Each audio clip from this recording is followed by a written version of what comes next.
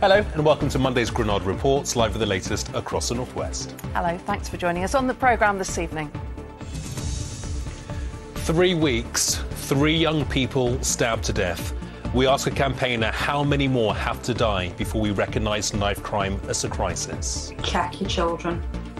Check your children. I'm a mum with a teenager, making sure they're aware of, you know, the friends that they're hanging around with, what the friends are up to. The devastation, pictures of the damage after fire ripped through Thornton Manor, one of our region's most popular wedding venues. Sitting at a piano but laid low by coronavirus, concern at the numbers of children on the Isle of Man hit by long COVID. Ridiculous. Ridiculous. Sophie. It hits our screens tonight. Don't miss the BAFTA winning writer behind ITV's latest drama, No Return and many more of our favourite shows. And it was frosty last night. Temperatures will not be falling as low tonight. All the weather details are coming up later on in the programme. But first tonight, three weeks, three young people stabbed to death in Greater Manchester. The police say that they're now increasing their use of stop and search powers to try to reduce the number of knives, but is it enough? Tonight we're asking a campaigner who works to educate young people about the dangers of knife crime if we as a society are doing enough. The latest stabbing claimed the life of a 20 year old man in Tameside. Our correspondent Elaine Wilcox reports from the scene. There has been intense forensic activity at a terraced house in Dukinfield close to the latest fatal stabbing. 20 year old Dylan Keelan was attacked outside a local shop on Friday night. It's believed he'd gone to buy balloons for a party. Local people desperately tried to resuscitate him, but he couldn't be saved. Knife crime is soaring in Greater Manchester, where the rest of the country has seen it fall. Police say often minor disputes turn fatal when knives are involved. If those individuals hadn't carried a knife, then maybe Dylan would still be here now. And whoever did this have no doubt ruined their own life and that of their mother, their father, their siblings, you know, and again, it all comes down to one thing. If the knife wasn't present, when these disputes happen for whatever reason, and often they're incredibly low level disputes, we would avoid these tragedies. Dylan's mom said he was a kind, respectful boy and his death has left her broken. And they want to know why he was targeted. The death of Dylan Keelan is the third fatal stabbing in Greater Manchester over the past three weekends. Despite knife amnesties and numerous initiatives by Greater Manchester Police urging people not to carry knives, the message clearly still isn't getting through. 16 year old Kenny Carter was stabbed to death close to his home in Stretford on January the 22nd.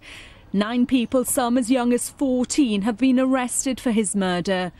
The following weekend, 17 year old Alan Szelagowski died from a single stab wound in Clowes Park in Salford.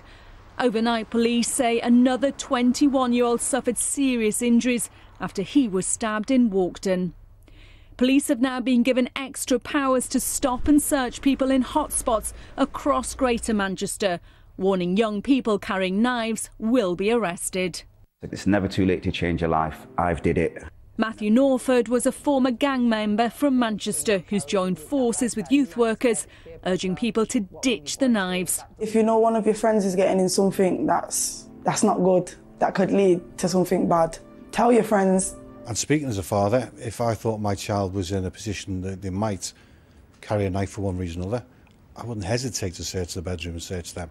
A young person's been stabbed every weekend for the past 12 months in Greater Manchester. The police say they can't tackle the epidemic in knife crime alone and need help and a change in attitudes to stop more senseless deaths.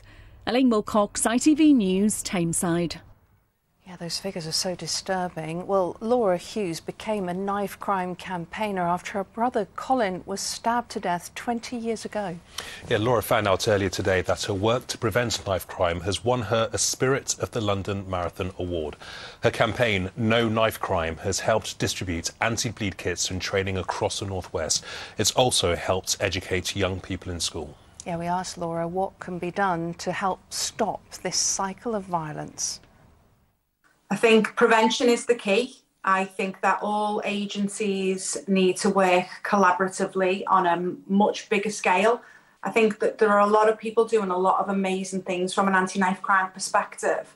We just need more manpower, basically, more more people engaged, and prevention work is key across all communities, across all schools, as young as primary school age, really. I mean, Greater Manchester Police are talking about using stop and search powers now. Do you think that will be a solution? I think it is, and it'll impact the nighttime economy and obviously um, young kids who are out out and about with their friends. But I think at that point, at the stop and search point, there's already intent to cause harm. There's already that thought process of taking a knife out. I think the problem's far greater than that. And I think we actually need to really strip it back and work with kids in advance of them even thinking about going down that route of taking a knife out. The government, I think it's fair to say, is a bit preoccupied at the moment with the pandemic and other issues. Is enough attention being paid to knife crime at the moment? I don't think so. I don't think there is. I think with what's happened over the last few years, COVID has obviously dominated what's um, going on from a news perspective, and, and rightly so. But that's uh, we've also got a, an epidemic of what's happening from a knife crime perspective that's affecting every uh, city across the country, and it's not necessarily um, discriminating from a social demographic either. As someone who has been so terribly affected by knife crime, by losing your brother, uh, can you believe that we're still having these conversations over and over again? Not really. Um, it's very sad. I think stuff that's happened across the northwest, well, across the country, but definitely um, cases I've been made aware of that have happened across the northwest since before Christmas are just shocking, absolutely shocking, unavoidable, completely and utterly avoidable. What would you say to a parent watching tonight who maybe has suspicions that their kids are going out with knives? Check your children.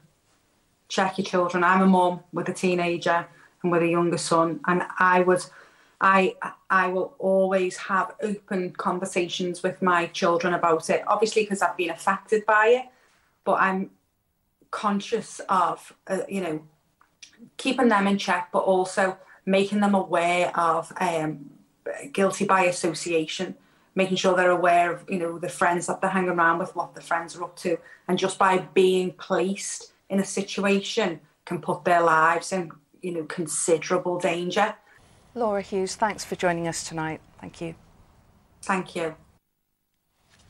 Well, next up tonight, it's one of our region's most popular places for big family events like weddings and christenings and a popular venue for conferences. But tonight, the owners of the Thornton Manor Hotel, a Grade 2 listed mansion in Wirral, are counting the cost of the massive fire there. Yeah, fire crews have been at the scene since the fire broke out on Saturday night. Guests at a wedding had to be led to safety. Let's cross live now to our reporter Victoria Grimes at the scene for us. Vicky, what's the latest? Well, Lucy, an absolutely devastating fire for, for all concerned, really. And the latest tonight, we have heard, though, that Merseyside police say that it's not being treated as suspicious. An investigation is underway. Merseyside Fire and Rescue Service are dealing with that um, and what they've described as a prolonged and extremely challenging incident. Now, they were called here on Saturday at around about nine o'clock to reports of it sort of a, a boiler room fire. Uh, that was extinguished before they arrived, but then it spread to the roof roof area. Now, there was a wedding going on, as you say, at the time, and some of the guests have talked about how they were dancing away, just enjoying the evening on the dance floor when they were told that they had to get out uh, as quickly as possible and, uh, and, were evacuated. I think it's thanks to the, the quick thinking of, of the staff that, um, you know, that, that nobody was hurt here. And when you look at the pictures of the damage that's been caused, which I think you can probably see now, um, it, it's really quite incredible that nobody was injured. Um, fire crews are still here this evening. They've been here continuously since Saturday evening, working relentlessly, they've said, to make sure the fire is completely extinguished. Um, we're surrounded now at the moment. There's still pumps um, and, and, other equipment here as well. And they really um, say that it's, it's been a very challenging incident to deal with. Now, they um, say that it's, it, it's going to be a little while before they can leave the immediate vicinity. It's an old building, it's historic, built in the 19th century, so difficult um, for them to uh, deal with it. It's a complex fire. Uh, and Vicky, what about those due to get married? What more do we for know about them? Yeah, well, I've spoken to people today, some due to get married here at the weekend, and obviously they've got a real struggle now to try and find alternative arrangements. Some say they've been offered alternative venues. Thornton Manor tonight say that uh, they are trying to get in touch with all of their brides and grooms. They've thanked people for their patience, but said they can't comment on what is an ongoing investigation. Okay, Vicky, thank you. In other news, a teenager from Greater Manchester has admitted killing his 15 year old sister at a holiday park in North Wales. 19 year old Matthew Selby from Ashton under Lyne pleaded guilty to the manslaughter of his sister Amanda. Amanda died after police were called to reports of a domestic disturbance in Towyn last summer. Selby will be seen by a psychiatrist before his sentencing next month. Arrowe Park Hospital in Merseyside is now one step closer to a major upgrade. The Wirral Hospital wants to spend £28 million on a new urgent and emergency care facility. Demolition work necessary to make way for the new units can now go ahead. If given the green light, the work could be completed in two years. OK, lots to work come on the programme coming up. The decision is to take the, both teams off the field. Police investigate alleged racist abuse during the Northwest Derby between Morecambe and Bolton. That's coming up in sport. And after a rather wet and windy weekend for many of us, hopefully there'll be a little bit more of this to come as we get towards the end of the week. Join me later for a full forecast. Great picture there. Thanks, Joe. Children in the Isle of Man are helping to plant 70 trees to mark the Queen's 70 years on the throne. It's all part of the Queen's Green Canopy initiative to plant a tree for the Jubilee. I love that ring. Plant a tree for the Jubilee. Uh, the trees have been chosen to match those in the grounds of Buckingham Palace. They have been planted next to a new cycleway at Spring Valley along the edge of Douglas Golf Course. Yeah, they'll always remember that. Well, staying on the Isle of Man, and the Manx government is concerned at the number of people affected by long COVID, still feeling the effects of the virus many months later. Yes, thought more than 500 people on the island have the symptoms. Our Manx reporter Joshua Stokes has spoken to one mother whose nine-year-old daughter is still struggling almost a year on. Nine year old Gabby has felt the full force of COVID. She tested positive in March last year. Ten months on, and she's still feeling the effects. She constantly had the chest pains. The GP at the time was very helpful and very, very worried about Gabby. Um, she couldn't see anything that would be particularly wrong. But that night, unfortunately, Gabby collapsed. She was still conscious, but she couldn't use her legs. How did you feel when all these things were happening to you? What was what was it like for you? It was a thumbs down. Were you scared? Yes. Even though when I started trying running, five seconds in, I already felt breathless. Hmm. Since then, the family have been struggling to share Gabby's story. A comment that Gabby made to me recently, which is stuck out why doesn't anybody believe me? And that's a very strong statement from a nine year old to say, because with long COVID, most of it isn't visible. The Manx government predicts over 500 people have been living with long COVID for over a year. Symptoms range from major fatigue to more serious conditions with the heart and lungs, and these can vary based on age. Children seem to have a much lower risk of the organ based long term side effects. So the symptoms there are more likely to be around the fatigue, the loss of concentration, loss of energy. Infection has only been with us for two years, so actually understanding how that plays out long term is far from complete. And the worry amongst some is the effect it can have on education. The advice from the government is for schools to adapt. obviously raise any concerns with the head teachers and they'll be able to make adjustments for the students um, with regards to timetables, what continuing education they can do if they're not in school and obviously possibility that they could do so, some work at home. I mean, we're 10 months into this now and it's still continuing like every day. There's always something every day. And for a parent, it's hard to watch your child sit there and cry because we don't know what's going on, and it, it's quite frightening. Fears that will be shared by many across the Northwest who, like Gabby, are facing more unanswered questions. Joshua Stokes, ITV News, in the Isle of Man. Okay, um, here's what's still to come on the ITV News at 6.30 with Mary. Coming up in the programme, why has a plan to tackle England's huge NHS backlog been delayed? The Prime Minister has denied its stand for rift with the Chancellor and promises he will tackle waiting lists. Also ahead, exam help for the class of 2022. We'll have the details. Can neighbours be saved after Channel 5 dumped the classic soap? Join me for that and more at 6.30. Um, next, if you think of some of the best TV dramas in recent years, I'm thinking Clocking Off, Shameless, Safe, The Stranger. They have all got something in common. Yeah, they're all fab. They've also got something else in common, though, and this is someone who doesn't get a starring role, but he is absolutely vital. He's the man who wrote them. Danny Brocklehurst from Hyde. Well, the good news is he's created another new drama which we can see on our screens for the first time this evening. It's called No Return. It's on ITV and it stars the incredible Sheridan Smith. Our entertainment correspondent, Caroline Whitmore, caught up with Danny ahead of his new show going on air. Danny Brocklehurst, I have wanted to interview you for years.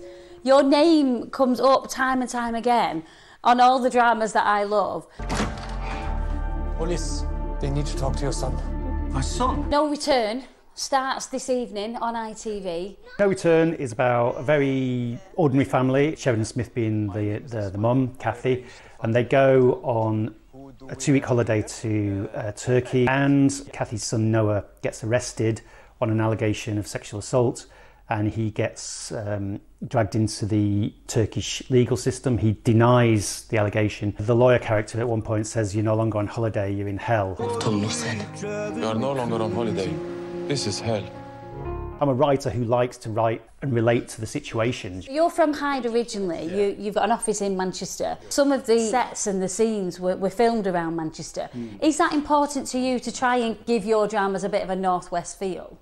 Yeah, always. Everything I do is set in Manchester or in the northwest until somebody tells me different. You know, I mean that's basically. I mean, obviously this one's set predominantly in Turkey, but you know the family are from Manchester. People these days, they're wanting the next episode immediately. Do you feel the pressure of that? The way we watch things has changed dramatically, and No Return's the same. It goes out over four weeks, but you can watch it on ITV Hub all at once if you you know if you so choose. But I do think sometimes it sort of seems indecently quick. Like you know you've worked on something for 18 months and then people go, yeah, I watched it all in a day, and you're like. That's, That's just taken me, you know, a year and a half to make. I mean, we've done, you know, we've done uh, three of the Harlan thrillers now for Netflix, Safe, uh, The Stranger and Stay Close. And, you know, they've just sort of talked about the figures for Stay Close worldwide. And they are, I mean, they are bigger than any show I've ever done anywhere. You're talking like tens of tens and tens and tens of millions of viewers, you know, I mean massive figures. It's crazy, absolutely crazy. Do you remember arriving here? You said you worked with Sheridan Smith before. Was that on the film The Railway Children Return? Yes, Sheridan is in The Railway Children Return, which comes out in summer in a nerve-wracking sequel to the uh, to the original. It's not really a sequel actually, and it's about trains and it's set in the same village. And Jenny Agutter's in it, but other than that, it's nothing to do with the original. It's not enough. You don't even know how much is there. How much is there? Loads. Sick. Nailed it. Do you have a standout favourite of the dramas that you've written? Listen, it's always hard to choose. Very pleased with Brassic, just because I, you know, it, the audience response to it has been phenomenal. Would you ever do cameos in your own dramas, or are you like, no, Cal, I'm not doing that? Some years ago, in Shameless, I had to walk, and I think I did that quite badly. And all I had to do was all I had to do was walk. Well, nobody's that interested in writers, thankfully, you know. So it's. And I talked before about how people are impatient, and I think the first thing I said to you was, "How does No Return end?" I don't want to tell you because I want you to watch it. Brilliant. You tell the truth and you tell it hard.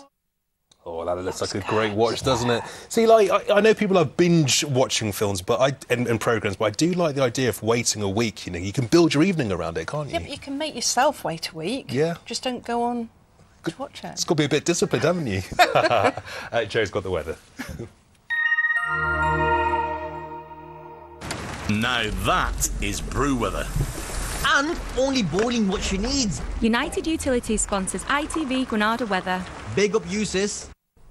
Thank you. A very good evening to you. A rather cloudy, damp start to the working week for many places and breezy as well. Another windy day to come tomorrow. Lots of cloud around, some spells of rain, and then a little bit colder as we go through the middle part of the week, returning to unsettled, wet and windy weather for this weekend. Mild and cold air vying for dominance over the next few days. It stays mild until probably Wednesday evening into Thursday. Then the colder air digs in and high pressure begins to establish itself fairly briefly. So fine and settled for Thursday night and Friday before wet and windy weather resumes into this weekend.